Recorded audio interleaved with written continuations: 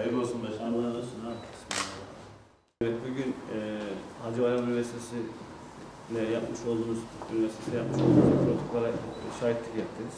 E, Yusuf Hocam Allah razı olsun bu konuda bize e, tam üniversite olarak destek vermediklerini beyan etti. Biz de karşılıklı bir protokol yaptık. Amacımız Gölbaşı'daki e, kültürel değerleri turizme kazandırmak, e, bununla ilgili çalışmalar yapmak. Ben tekrar çok teşekkür ederim. Katkılarından dolayı.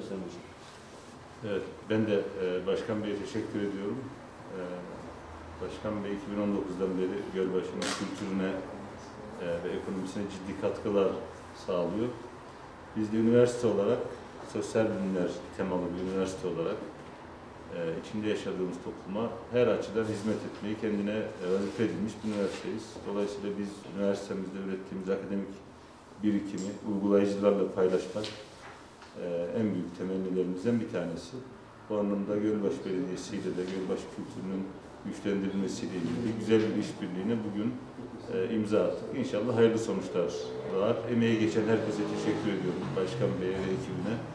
E, bizim buradaki e, üniversitedeki arkadaşlarımıza teşekkür ediyorum. İnşallah bundan sonra da protokolün devamında güzel şeyler yaparız. Tekrar hayırlı uğurlu olsun. Çok teşekkür ederiz. Sadece bununla ilgili değil, Hacı Bayram Üniversitesi e, olarak her zaman bizim yanımızdasınız. Onun için de çok teşekkür ederiz Sayın Hocam.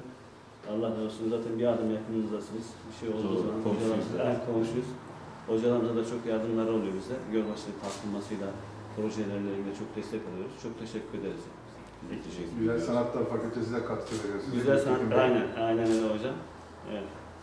E, tabii bizim epeyce burada e, bir öğrenci yoğunluğumuz var. İnşallah pandemi kalkarsa burası bizim ana etkinlik alanlarımızdan bir tanesi olacak. Belediyenin de destekleriyle burada güçlü bir öğrenci e, ve eğitim merkezi haline dönüşecek burası. Ama inşallah sağlıklı bir şekilde şu süreci atlatacağız.